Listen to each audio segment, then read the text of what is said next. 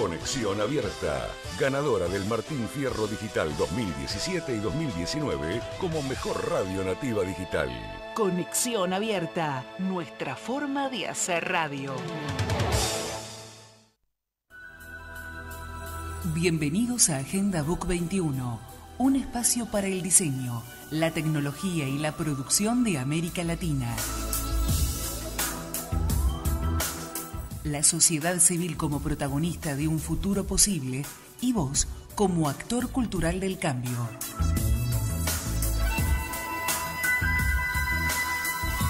Agenda Book 21, tu espacio de participación. Agenda Book 21. Queridos amigos, les damos la bienvenida a Conexión Abierta. Somos Agenda BUC 21, tu programa del diseño, la tecnología y la producción de América Latina, auspiciado por la Cámara de Innovación Textil y Afines, como también la empresa Modernal, Modersign y obviamente la Asociación Latinoamericana de Diseño. Y hoy estamos recibiendo, como ven ustedes en el estudio en streaming, a dos invitados especiales que este, Paolo, como presidente de Aladi, les va a dar la formal bienvenida. Ah, eso de formal son Porque históricos, históricos momentos. Históricos, hemos recuperado 50 años casi de historia, nos conocimos en el Jardín de Infantes. ¿eh? En, que, en, Aladi Kit. No, no, no. ¿eh? Así que con, con, Marcelo y con Juan es como si nos conociéramos de... De bebés. De bebés. Y eso que no vivimos nada. Así que le damos una gran bienvenida y realmente eh, nosotros tenemos por costumbre la primera parte del programa hacer nuestros boletines y la segunda parte recibir a los invitados. Y en esta ocasión no es porque ustedes sean dos, sino que hemos decidido optar por el programa completo. Así que bienvenido Marcelo, bienvenido Juan, por favor. Muchas gracias, Pablo. Un honor estar con vosotros aquí. Este, bueno, nos, traen un, aire fresco, no precisamente de Mar del Plata, de donde viene, o de España que hace mucho calor, pero nos traen un aire fresco de diseño. ¿No es así? Bueno, eh, lo intentamos. Eh, hoy en día la, fluidez de la comunicación es tan alta que estamos todo, continuamente conectados y no hay grandes diferencias. Como tú sabes, si sales y te mueves un poco, los medios de comunicación han acelerado eh, la información, así que no, hay grandes diferencias, no es que, podamos, no sé, igual aportar alguna visión, algún punto de vista diferente, pero a nivel creo que informativo estamos equiparados en este momento, creo que en todo el mundo. Sí, pero los corazones palpitan distinto, ¿no es así? Depende de dónde. Claro, por eso. Desde qué punto del planeta se vea. Claro que sí. Y de, y de con quién. Eh, en, mi caso, el interés, el interés en el ámbito de. o, el interés en, el campo de la docencia. Eh, de, de, entender el diseño y el alcance que puede tener el diseño, que está teniendo y que puede tener al futuro, y sobre todo que las generaciones jóvenes nos pasó en Mar del Plata, ¿no? Eh, de pronto, de pronto algo parecido a lo que cuenta Marcelo, ¿no? De pronto un chico, de pronto un chico en Mar del Plata ve la misma serie en Netflix que ve un chico que vive en Málaga y dice, mm, eh, aquí está pasando algo que no pasaba hace 30 años, ¿no? Y hay a veces pensamientos comunes o inquietudes eh, similares. Posiblemente los escenarios sean distintos y eso aporten una, una, visión más particular en, las generaciones de uno u otro sitio, ¿no? Pero, pero creo que el diseño que el diseño es un elemento que está tomando una dimensión que, que, que, posiblemente las escuelas bien tratado pues anticipe eh, en los próximos años otra manera de, de, incorporarlo eh, de forma mucho más eficaz posiblemente. ¿no?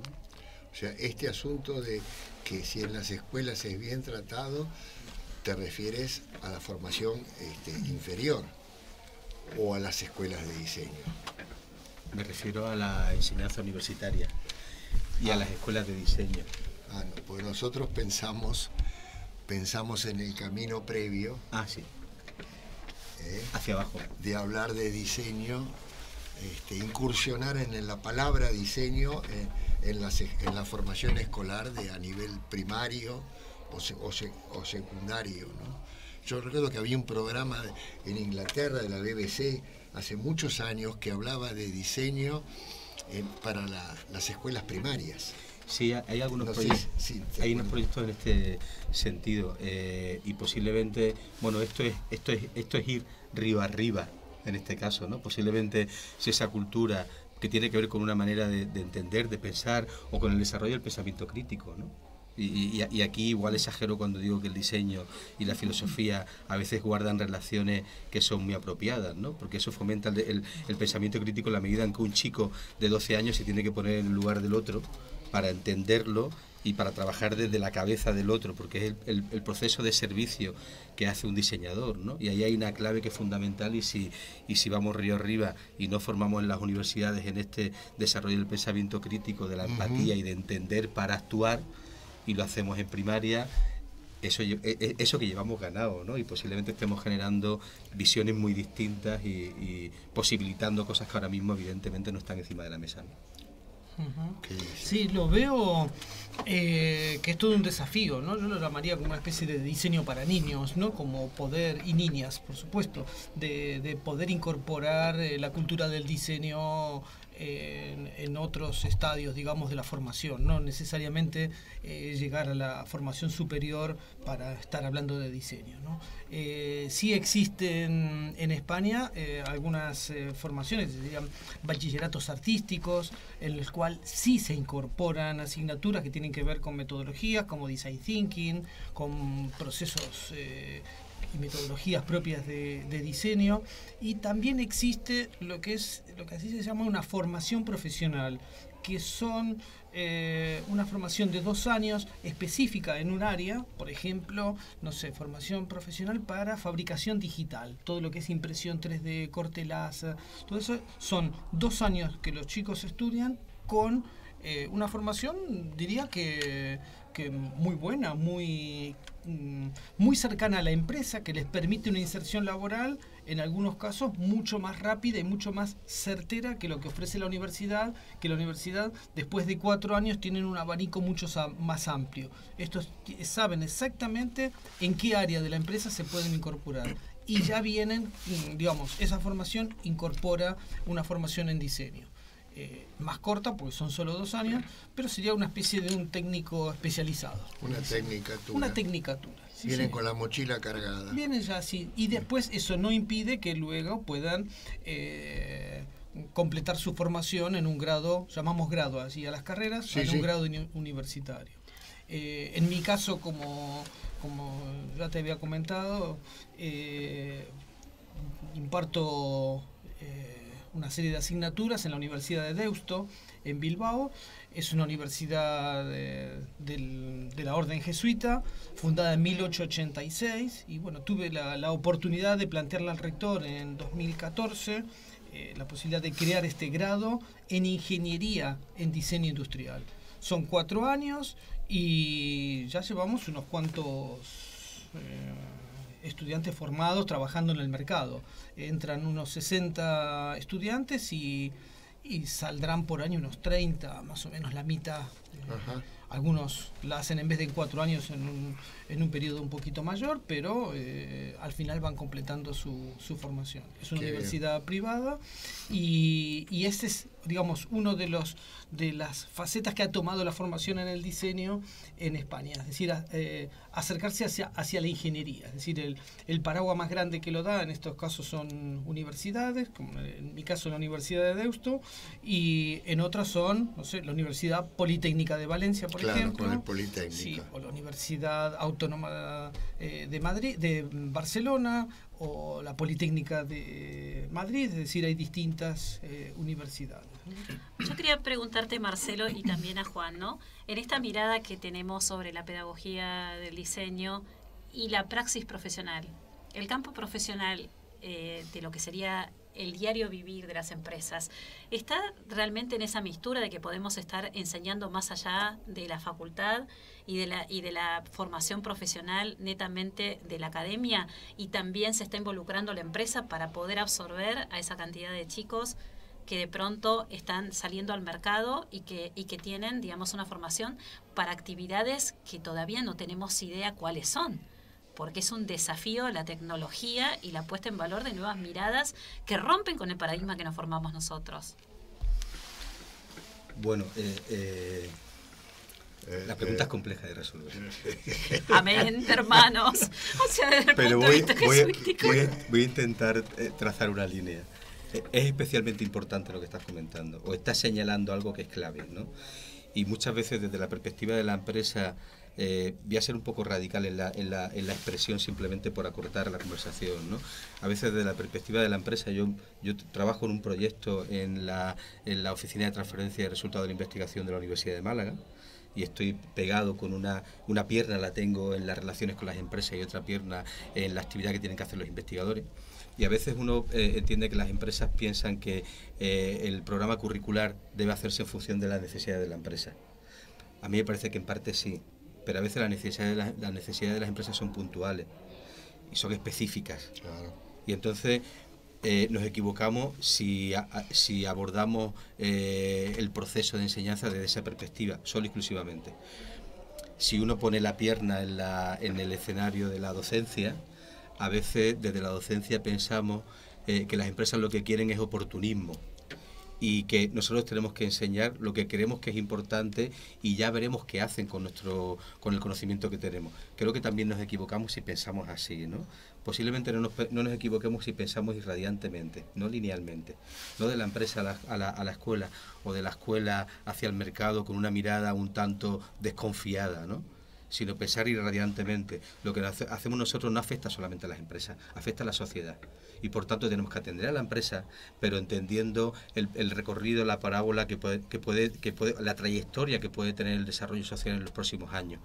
Y aquí es inevitable que parte de la visión de la formación que damos no esté alineada con lo que necesitan las empresas y que haya un aterrizaje de determinadas competencias y habilidades que sí puedan eh, eh, que, que sí puedan eh, rentar y, utilizar evidentemente eh, las empresas y, sea provechoso para el trabajador o para el, chico egresado y también para la empresa ¿no? hay, much- hay muchos modelos de este tipo en, en, en España por ejemplo en las escuelas superiores de diseño y en las universidades hay programas de prácticas en empresas eh, bueno, es una manera. Hay proyectos compartidos con empresas, ¿no? Hay distintos modelos, ¿no? A veces esos modelos son modelos donde el recorrido es corto y por tanto la experiencia no es lo suficientemente eh, interesante o no cala suficientemente. ¿no? Bueno, quien nos estaba hablando era Juan Aguilar, Málaga 1968. Estoy bien con la edad, ¿no? Vamos que, bien, Que sí. cada uno saque el cálculo. ¿Eh? Doctor Recibido en Bellas Artes por la Universidad de Málaga, docente e investigador de la Facultad de Bellas Artes, Universidad de Málaga, promotor del proyecto académico creativelab.pro y coordinador de arte y diseño en el máster Liderazgo, Innovación y Emprendimiento BAT. Qué interesante esto, ¿eh? Muy bien, ha sido presidente de la Asociación Andaluza de Diseñadores y de la Red Española de Asociaciones de Diseño, que nos ha contado en la previa sus experiencias, que son realmente interesantes, dignas de un programa específico. ¿eh? Y ha liderado proyectos como la creación de los premios de diseño de Andalucía y del tercero y cuarto en- Encuentro Nacional de Asociación de Diseñadores, fundador, director, caramba, ¿eh? ¿duerme este hombre? ¿Eh? Bien. Así que experto en design thinking en Andalucía y, y un gran tipo. ¿Está bien? Gracias por estar con nosotros. Hacemos lo que podemos. Gracias, Uno se hace lo que se puede. Sí, ¿eh? Y si no, se compra hecho. ¿Eh? Y bueno, y, y- y ahora vamos a escuchar a Marcelo Leslavay, que después que hable le contamos qui- quién es. Muchas gracias, Es Pablo. un tipazo. Muchas gracias, Pablo. Eh, respecto a la, la pregunta que habías lanzado, Cristina, yo estoy en la parte, digamos, eh, final donde Juan estaba hablando de ese aterrizaje, ¿no? De, de cuando el estudiante eh, llevó las prácticas en empresa de unos cuantos estudiantes, unos 30, 40 más o menos todos los cursos, y ahí me encuentro lo que pide, el, digamos, la- las habilidades, las competencias que han adquirido los estudiantes en nuestros cuatro años prácticamente, con las necesidades reales que tiene la empresa. Y bueno, vamos ajustando, es decir, eh, evidentemente que hay que dar solución a, problemas sociales y que el diseño no tiene que estar estrictamente en función de las últimas máquinas que haya incorporado una empresa, ni tenemos que ir detrás, digamos, de esa formación específica o técnica que requiera. Pero creo que eh, tratamos de, ajustar los programas, eh, los contenidos para que lo que realmente la empresa esté necesitando tenga cabida, digamos, eh, un perfil como el de un diseñador industrial en nuestro caso. Entonces, eh, creo que se va ajustando un poco solo, ¿no? Con el, andar de, nuestro propio grado y también las empresas que empiezan a entender, porque no siempre las empresas eh, comprenden cuál es la tarea de un diseñador. En País Vasco eh, hasta hace muy poquito éramos la, única eh, universidad que, ofrecía formación en diseño, eh, entonces se encontraban con quizás una, mirada distinta quizás del, diseño de la que teníamos nosotros. Entonces hemos ido ajustando ambas partes, ¿no? de decir, no es un tema estético, el diseño no, no. resuelve, no, no es como una parte de la sociedad o de los empresarios pueden entender, ¿no? Que te digan que, que quede que, sea vendible, no, no, no es eso. No, que quede bonito. Que quede bonito, no va por ahí. Entonces eh, tuvimos que ir ajustando también que hay otros valores, otros eh, principios que el diseño promueve de mejorar la calidad de vida de todas las personas. ¿no? Entonces los productos son de alguna manera los mensajeros, los portadores de esos eh, contenidos que tiene que tener un producto. Entonces no siempre eh, la primera relación que tiene una empresa con un estudiante de diseño en las prácticas es tan, tan así, tan, tan lineal. Hay, hay, que, hay que trabajar esa, esa relación. Muy bien, bueno. Como escuchaban, Marcelo Leslavay, doctor en diseño por el Politécnico de Valencia, licenciado en diseño industrial en la Facultad de Bellas Artes de La Plata, nuestra querida Universidad Nacional de La Plata, precursora del diseño. ¿eh? 1962, sí. 1962, junto con la de Cuyo también. Exacto. ¿Eh? Así que eh, en función de la, de la primera egresada de diseño de la de Cuyo es que establecimos el 24 de octubre, Día del Diseño en la Argentina. Así que, bueno, vive en España, hace actividades múltiples vinculadas al diseño, dirige su propio estudio, eh, ha, organizado exposiciones de diseño español por el mundo entero, profesor investigador de la Universidad de Deusto en el grado de Ingeniería en Diseño, nos lo acaba de explicar, eh, eh, miembro del Design Research Group, ¿sí? director Past Director de Experimenta. Sí, ese fue otro proyecto atractivo. fantástica publicación de la cual tengo publicado una entrevista que me hizo el amigo de Costa Rica. Ah, vale, vale, vale. ¿Sí? ¿Eh? Este, así que estoy muy, muy socio fundador de Edimat, de la cual recibimos los boletines en la LARI. ¿eh? Y, y, qué más? Bueno, premio Príncipe Felipe, la excelencia, jurado, caramba, otro que no duerme de noche. ¿eh? pero que se ha hecho una siesta para estar con nosotros. Bien, ¿eh? esperemos que con la visita de ustedes podamos desarrollar el deseado capítulo latinoamericano en España, ¿no? Alari España. sería fantástico, ojalá que así Pablo, sería fantástico podamos eh, materializarlo. Y en esta visita a, a Mar del Plata, que Juan justamente comentó, ¿qué es lo que vieron de lo que vieron? Del diseño en Mar del Plata, por ejemplo, o de las perspectivas de lo que vieron en Buenos Aires en estos pocos días? ¿Cuál es la, temperatura que...? Bueno, en Mar del Plata tuvimos, tuvimos una experiencia con los estudiantes y inauguramos dos exposiciones y, y, realmente la actividad en Mar del Plata fue eh, contarle a los chicos eh, los proyectos en los que estamos o la actividad que estamos desarrollando, ¿no? Eh, de alguna forma para que ellos tuviesen en esa, en esa conferencia que dimos, en esa charla compartida, tuviesen una visión ampliada del, conocimiento que ya tienen sobre el diseño y que y de los estudios que están recibiendo ¿no? y, y, fue un poco el enfoque este eh, el que nos pidieron para eh, traer una visión o una experiencia de, desde España de, de, lo que de lo que estamos haciendo de algunos aspectos que nos parecen interesantes del diseño. Esto fue un poco lo que, lo que fuimos a hacer allí. ¿no? Mar del Plata, ciudad puerto que recibe el desembarco. De alguna manera. El desembarco. Claro, es, claro uno desembarca con nuevas ideas y genera también lo que llamamos nosotros el polo de acciones, ¿no? Entonces es como que prende también en la juventud esa necesidad de activar la pertenencia a las organizaciones. ¿Cómo ven esta situación en España respecto al compromiso de los jóvenes con las realidades institucionales, con esta cosa de brindar tiempo propio a favor de otros? Bueno, bueno. Eh, Cristina ha venido afilada.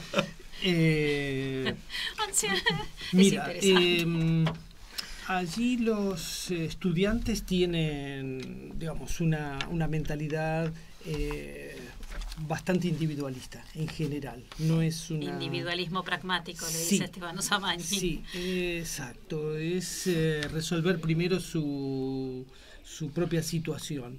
Eh, hace cuatro años que estoy intentando poner en marcha una asociación de estudiantes en la, en la facultad.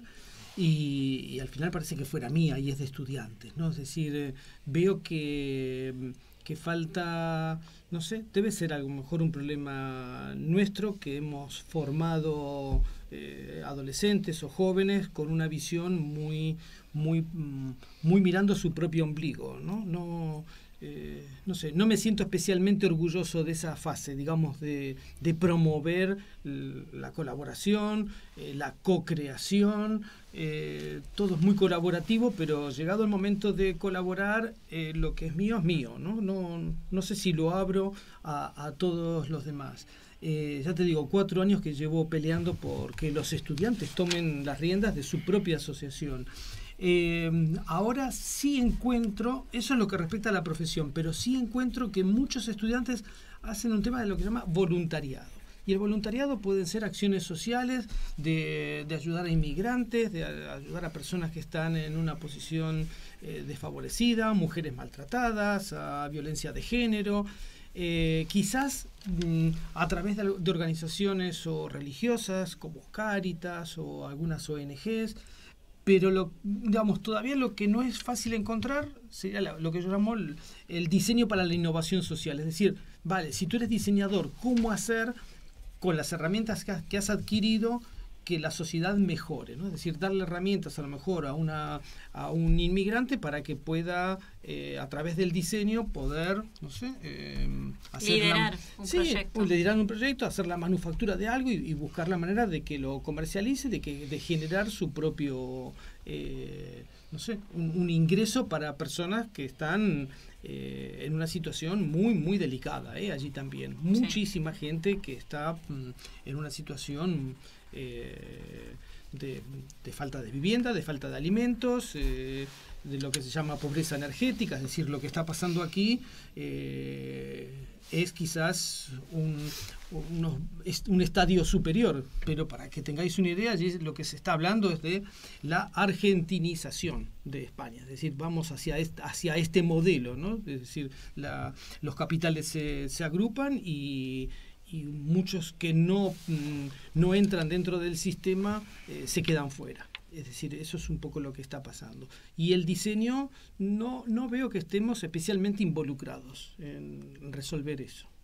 Eh, esa es un poco mi, mi opinión. No sé, Juan, tú cómo, cómo lo ves. Em, eh, creo que, creo que hay, hay una cuestión que uno tiene que intentar que sea permanente en la actividad que uno hace, ¿no? Y es que los desafíos no son, eh, no son retos que uno se plantea para resolverlos y zanjar un problema. El desafío es una manera de entender cómo enfrentarse a la realidad. Y por tanto, si el desafío desaparece, eh, el proyecto que uno inicia se va al traste. El desafío es permanente. Y mm. creo que de alguna manera cuando, cuando la sociedad no empuja al compromiso, eh, hablamos, posiblemente nosotros seamos de generaciones en las que las circunstancias sociales empujaban al compromiso, sí o sí hablo de España, ¿no? Cuando las circunstancias sociales no empujan al compromiso, ¿quién empuja al compromiso y a, la toma de conciencia y a entender eh, la importancia de esto en la gente joven? Yo igual exagero diciendo que evidentemente la sociedad en su conjunto, pero tiene un papel muy importante la enseñanza, la pedagogía, y la tenemos los docentes. entre otras entre otras entre otros compromisos la tenemos hay yo hay una cosa que decidí hacer eh, decidí hacer, eh, hacer hace unos años porque esto me, me, ocupaba mucho la cabeza me ocupaba la cabeza pensar que la actividad que uno hacía como docente era una actividad que era más trascendente de lo que uno pensaba no por ponerla en valor sino por fajarse uno más en la tarea eh, y buscar eh, recursos para poder mejorar esa situación. ¿no? Y hace unos años yo tomé una decisión eh, que, que, que, tiene cierto punto de egoísmo, ¿no? aunque parezca que no, que es sobreestimar a los estudiantes. Estoy harto de, de, que los pedagogos, los enseñantes hablemos desde la perspectiva de subestimar a los estudiantes, no son de la generación que fuimos nosotros, no tienen los compromisos que tenemos nosotros. Igual es cierto, no entro en este debate, porque, porque hay mucha de la realidad que plantea, que plantea Marcelo. Pero yo decidí que en mi actividad una clave importante tenía que ser sobreestimar a los estudiantes. Eso es un desafío permanente. Cuando tú sobreestimas, siempre queda algo más de lo que uno espera. Y si uno subestima, uno siempre está cabreado con el estudiante porque le está pidiendo algo eh, en un escenario que no está gestionando bien el pedagogo. Lo decidí hace unos años y pensé, los alumnos son capaces de, de convertir el aula en un laboratorio de trabajar eh, entendiendo que tienen unos compromisos que no es la de ser estudiante y aprobar, sino la de eh, asumir un rol dentro del grupo de trabajo y por tanto luego va a rendir cuenta no al profesor, al resto de los compañeros, porque la parte que no hace un compañero la afecta al otro compañero. Y, de alguna manera lo conviertes como una especie de, haces una especie de, de simulacro de escenario real, donde tienen que actuar como van a actuar en un colectivo social, como van a actuar en una empresa cuando tenga responsabilidades, como van a actuar en una asociación. Si estos escenarios no se construyen como simuladores en, el ámbito de la enseñanza, ¿dónde los vamos a construir? Y creo que de alguna manera, y, posiblemente en la realidad española haya generado eh, eh, perfiles o generaciones que hoy pueden tener 20 años, eh, a los que le cuesta entender el compromiso. Porque el compromiso es renunciar a algo y, como, como padre ¿no? De, de, de, un crío muy pequeñito, pero de un crío con 19 años. Muchos de mis compañeros de, generación tienen hijos con 19, 20, 21 años y a veces hemos eh, sobreatendido a las generaciones nuevas, ¿no? Y cuando uno sobreatiende a una generación nueva, lo estás haciendo en detrimento eh, de, o, o, lo estás haciendo ocultando realidades que está bien que un adolescente y un joven entienda que existe. Y esas desigualdades sociales está bien que un joven que vive una situación de cierta estabilidad entienda que existe. Y que eh, también depende de él, que esa realidad que no le toca, porque no está todos los días lidiando con esos chavales que están en otra situación, también dependen de él, porque forma parte de la sociedad donde él se puede permitir estudiar y donde se puede permitir tener un buen trabajo o tener una situación favorable. Y esto es muy complejo, creo que es muy complejo y, de alguna manera es algo inmaterial que está en el aire, ¿no? Pero creo que esto, de alguna manera, es, una responsabilidad de todos, ¿no? Eh, desde el ámbito de la pedagogía, desde el ámbito de la actividad profesional del diseño, ¿no? que, tiene, que puede tener el diseño, que, uno piensa que, a veces es, el antídoto para un montón de cosas, eh, algo que es clave, ¿no? y es que eh, uno para diseñar tiene que entender la realidad donde va a trabajar o donde va a desarrollar ese producto o servicio y está obligado a, comulgar con esa realidad y pensar a partir de esa realidad, no de la que uno tiene. Muy bien. Sí, en, mi experiencia coincido plenamente con lo que plantea Juan. Eh, los mejores proyectos que hemos tenido son los que planteamos un desafío al estudiante, desafíos reales, sea para una empresa, para una institución, para el tema que sea ese, ese sobreestimar, no, no, no, le había puesto ese término, pero me parece muy, muy apropiado en el decirle, tú puedes hacerlo, tú eres capaz, tú tienes las herramientas para resolver un problema en una empresa. Y así he tenido casos concretos y ahora nos encontramos que, bueno, no sé, en inglés hay un término que, que de alguna manera lo define, que es el up to you. Eh, al final, hazlo tú mismo, ¿no? Es decir, eh, no, no estés preguntando, no sé, miran internet, están todos los días, los chicos manejan redes sociales entonces, no sé, casos de, de, proyectos que hemos dado en, el que decirles, bueno, aquí tienes el problema que tiene la empresa, no, no estés pidiéndome continuamente mi opinión o por dónde tienes que seguir, no sé, tira tú para adelante y, es una expresión un poco vulgar, pero así se dice, búscate la vida, tío, venga, eh, ya espabila y búscate la vida, ¿no? Espabilate. espabilate, sí. Entonces, eh, es como mejor resultado está teniendo eso. Es decir, creo que lo que comenta Juan es que con nosotros como padres, yo también tengo un, chaval de 19 años, hemos, les hemos dado todo demasiado servido, masticado, todo muy preparado, no han tenido que, resolver ningún desafío. Entonces cuando se los planteas, tienen, eh, los chicos te, te, sorprende, ¿no? Eh, cómo, cómo pueden resolverlo. Y, y mucho es también de aprender y, eh, del compañero, de igual, lo que se llama el peer-to-peer, de igual a igual, no, no del profesor, sino en horizontal.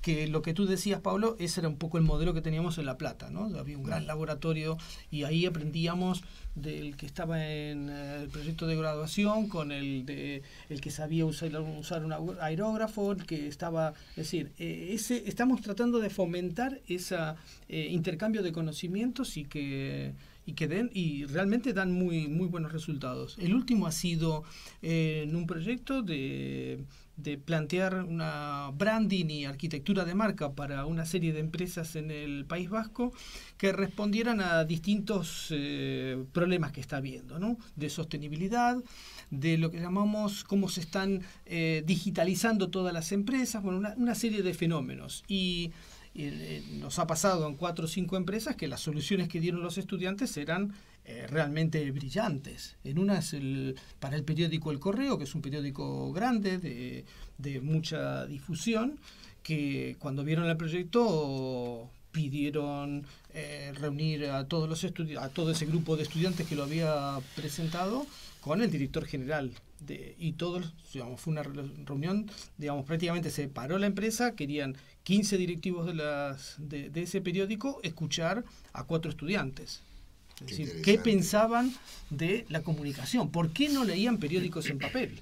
Es decir, ellos como, como gestores, como CEOs de una empresa, veían que lo que estaban haciendo no lo leían. Y estos chicos le estaban diciendo las claves y de, de lo que tenían que hacer con 20 años. Es decir, hay que confiar.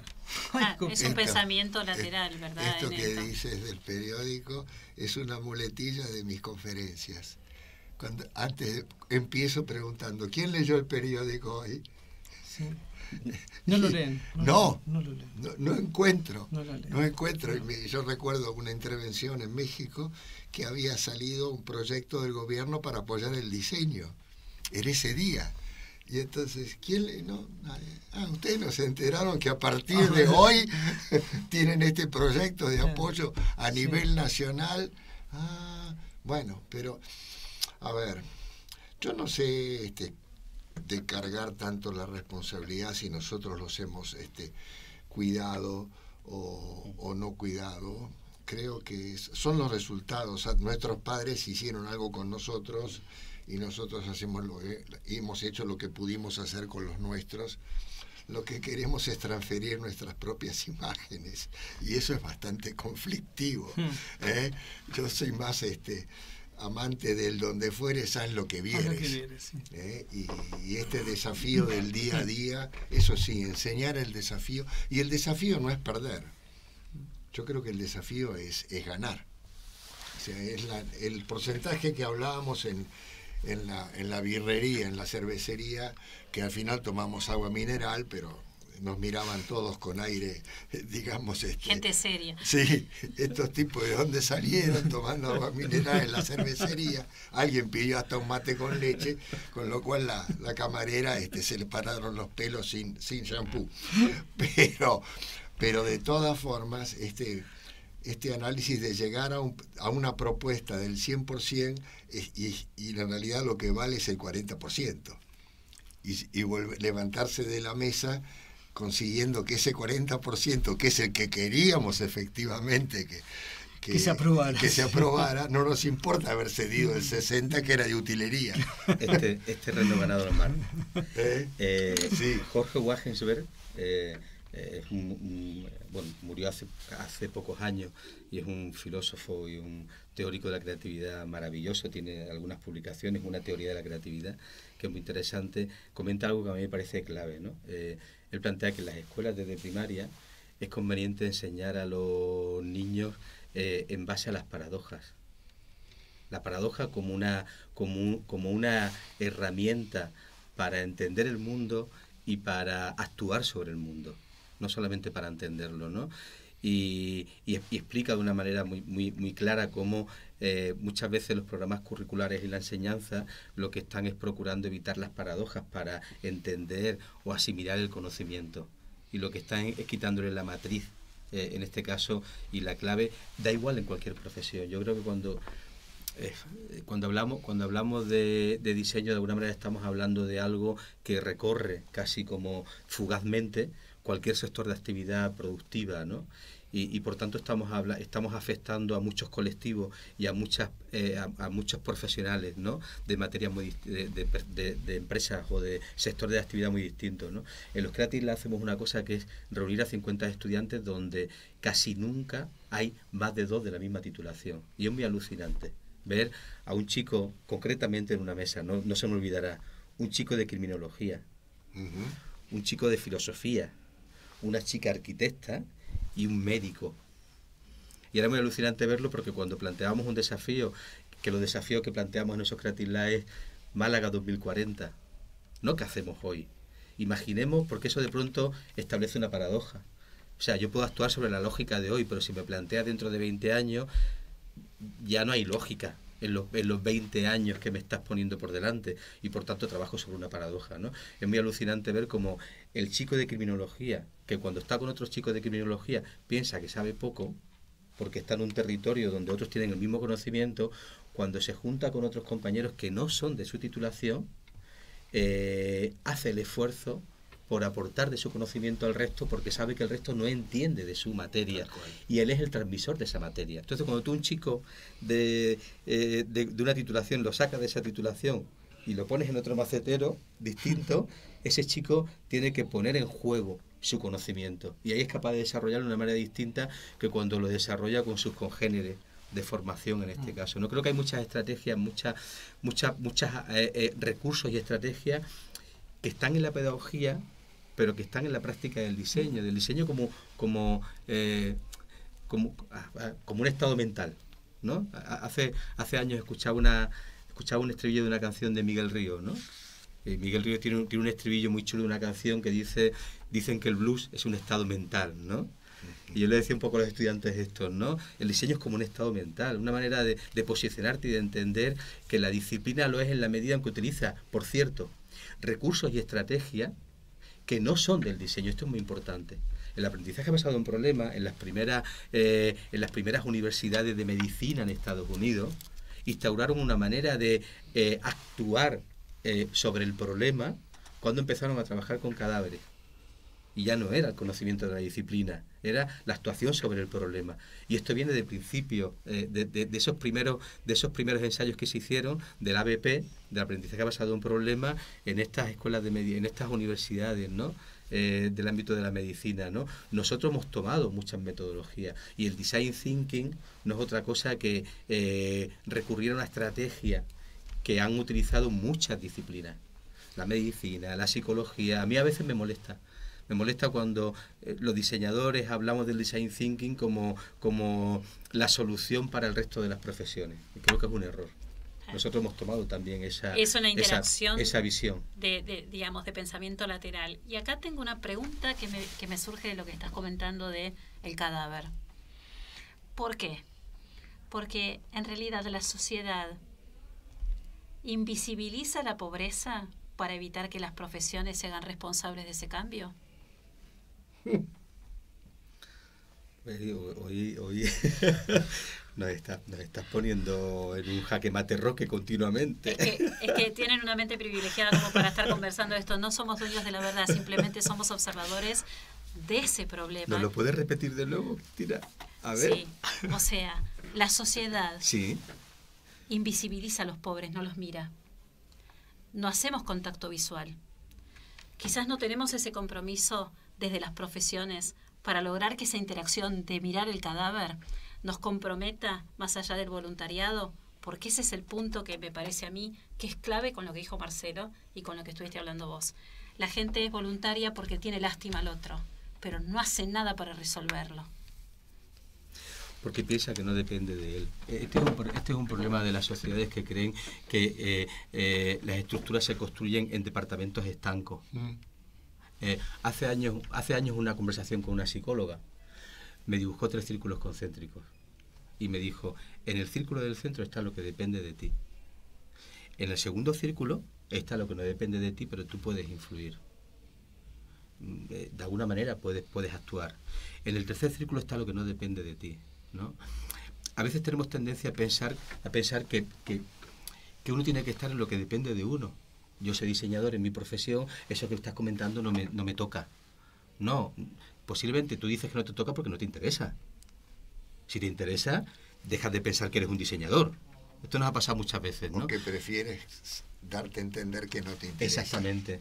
Entonces, tiene un poco que ver con, esto que con, esto que creo que tú estás formulando, Cristina. De alguna manera, a veces uno piensa que eso no depende de uno, porque eh, cambiar la realidad social del que está dos puntos por debajo de ti depende del Estado a quien tú la has delegado, o depende del que tiene más que tú, o depende de un organismo que no está haciendo lo que le toca, pero no depende de ti. Y esto lo que hace es que uno se descomprometa Tal cual. de algo que posiblemente es cierto que no dependa exclusivamente de uno, pero que uno pueda actuar ahí es algo que uno se puede eh, proponer como principio. Y esto sí creo, sí, sí, creo y estoy convencido, a veces no sé cómo hacerlo, ¿no? Sí creo que eh, la enseñanza desde primaria eh, y la formación es clave, porque donde la, donde la sociedad no marca una realidad que te, que te obliga a entender algo, lo tiene que marcar la enseñanza para, que tomemos conciencia en este caso. Y, Cristina, yo creo que lo que tú planteas es em, el fallo del sistema.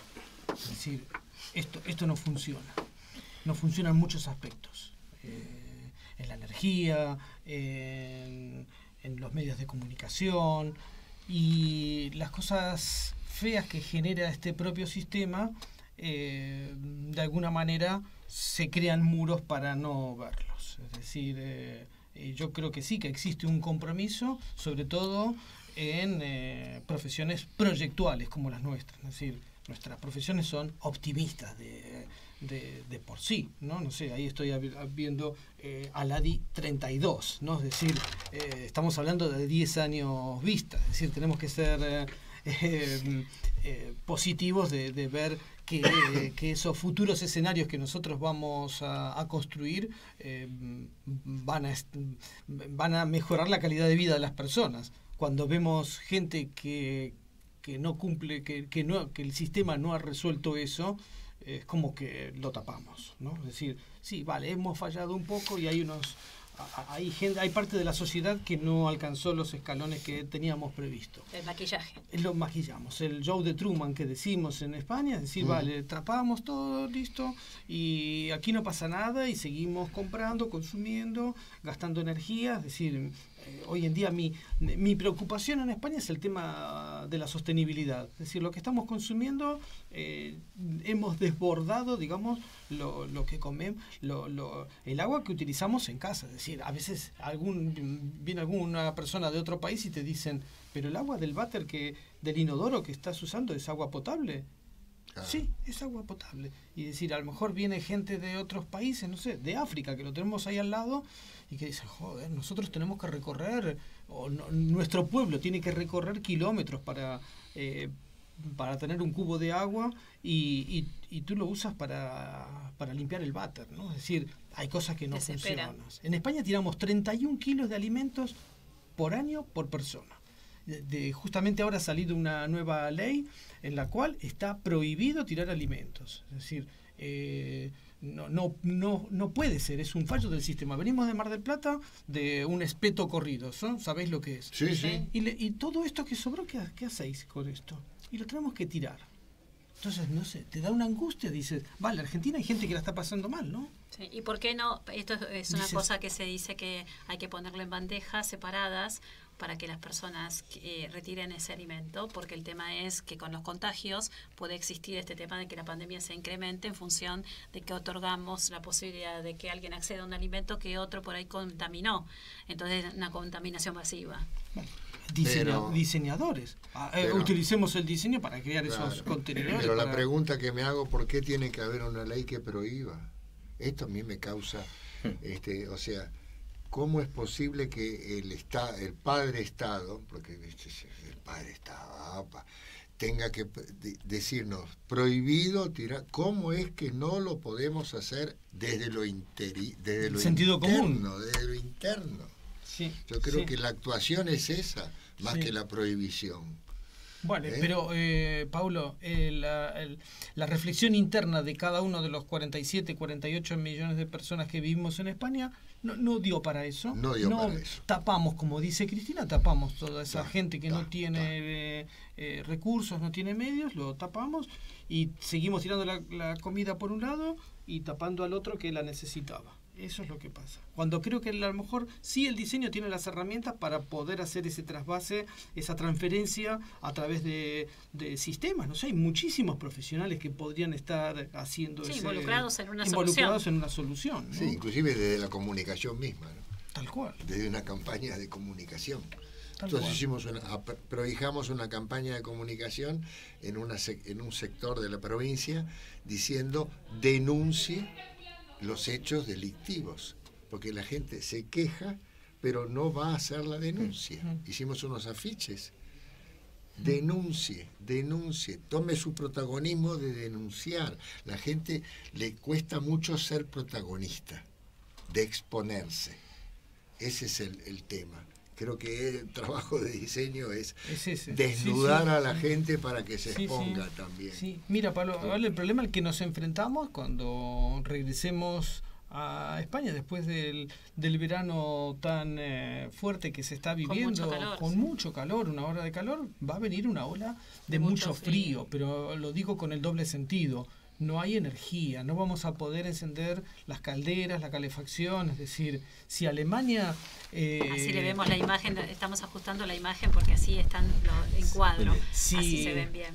Perdón, si, si eh, Alemania están diciendo que va a haber restricciones ¿no? en la calefacción, en el agua, es decir, Alemania es el país mm, económicamente más potente de Europa, es decir, no creo que Alemania pase frío y nosotros en España estemos eh, tirados en un sofá con 25 grados de temperatura.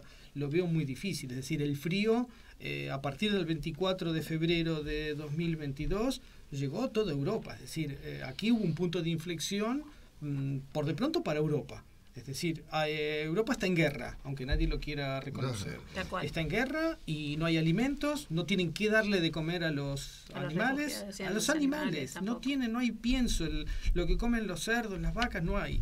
Eh, no viene el gas de Rusia, no viene el petróleo, es decir, eh, esto es la tormenta perfecta. El cambio climático ha hecho que la cosecha sea pésima en toda Europa, es decir, una situación complicada que está haciendo gran parte de la sociedad, lo mismo que tú decías, mirando para otro lado, es como que ahora estamos allí de vacaciones y Marbella y playa y, los chicos eh, disfrutando de las vacaciones y nos vamos a pegar un sopapo tremendo, pero tremendo, cuando empecemos a trabajar y no funcionen las cosas, porque no va a haber electricidad, no va a haber agua.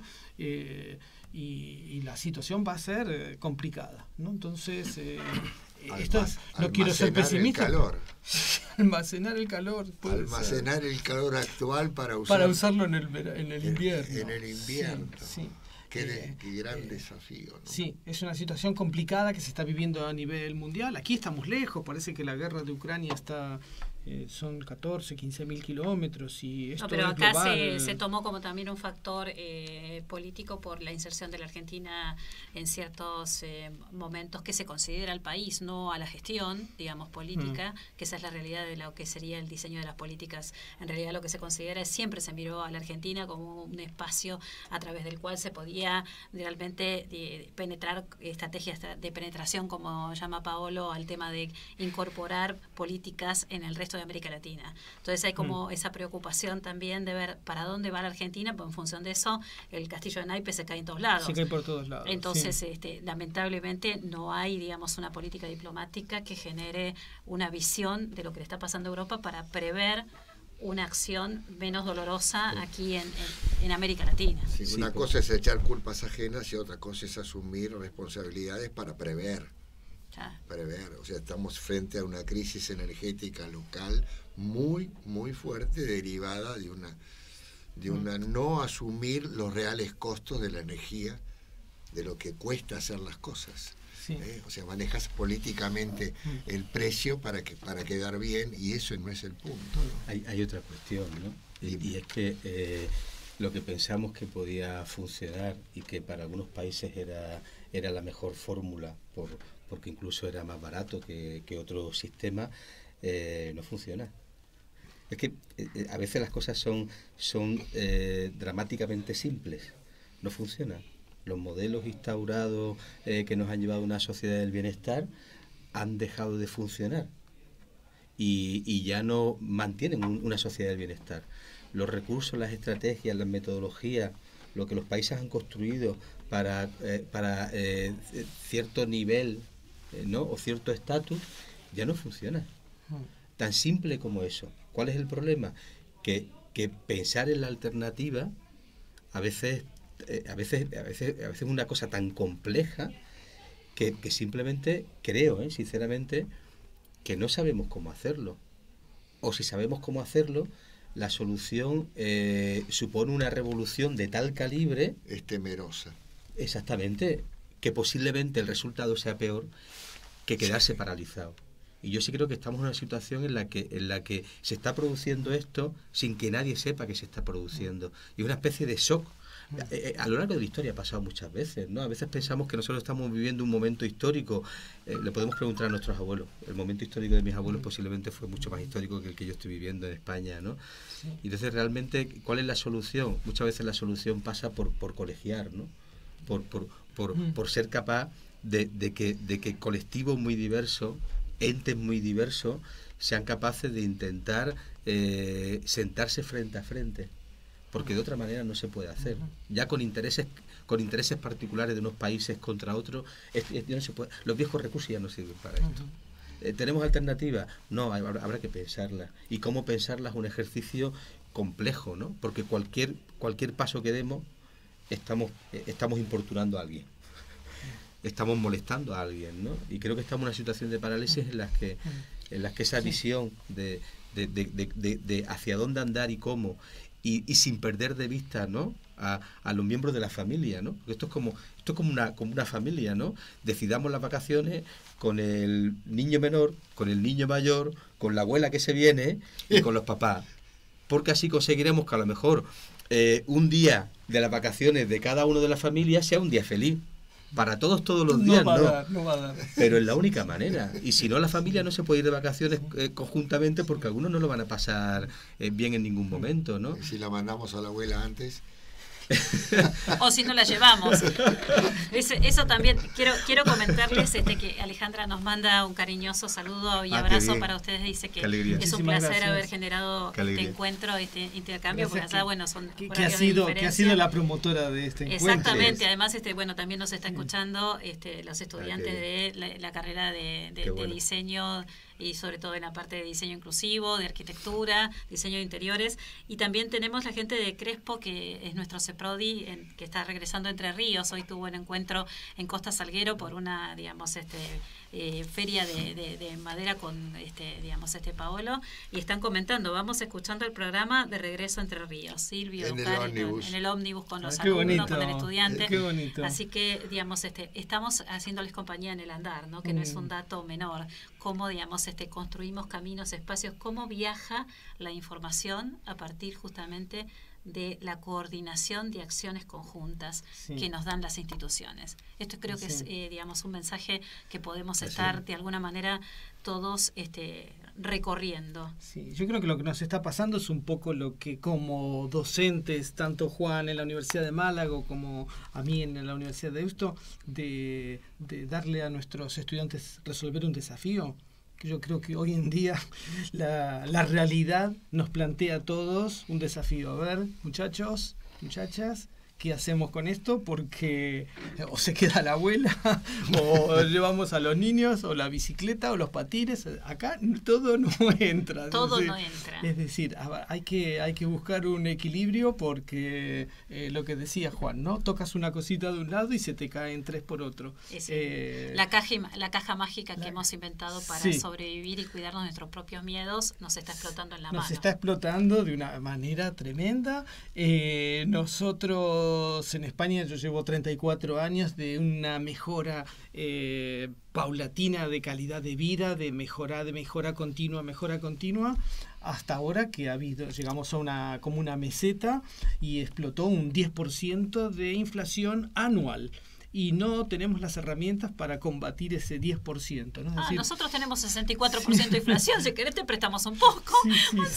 nos queda un minuto del programa para ir cerrando, digamos, esta agradabilísima eh, charla que nos ha permitido también como disparador pensar en forma conjunta y los invitamos a todos los miembros de, las instituciones de Aladi a que pensemos juntos, ¿no? que aprovechemos esta oportunidad que nos brinda también Punto Club a través de Caita, que vamos a estar festejando con ustedes el Día del Amigo, que para nosotros es un placer, así que este intercambio que estamos generando también en nuestras este, instituciones va a generar este, estos puntos de, de encuentro, de consenso y obviamente esta apertura que creo que Paolo fundamentalmente dice, España se une a la Argentina en un tramo conjunto. ¿no? Se une a Latinoamérica.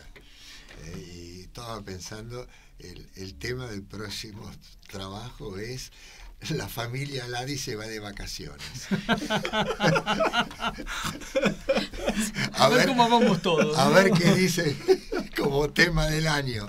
Muchísimas, muchísimas gracias Juan, Marcelo, de corazón por estar con nosotros. Merita otros programas. ¿Cuándo se van? Nos vamos, bueno, Juana el sábado 23 y ah. yo me quedo hasta el 16 de agosto, así que tengo unos días más. Vamos a tratar de combinar para hacer una conclusión. ¿eh? Eh, y bueno, el viernes que viene podemos invitarlos a que vengan al programa de vuelta. Un placer para mí. Nosotros encantados. Así que bueno. Muy agradecidos. así que podemos hacer. Hay segunda vuelta, este, queridos amigos. Así que este, nos vamos a ver el día 22 de julio con los invitados del día de hoy. Ya está el consenso hecho. Gracias a Mica, nuestra operadora, una divina total, nuestra princesa nórdica. Así que, este, como siempre decimos, somos Agenda BU 21. En conexión abierta, donde, vos, estás.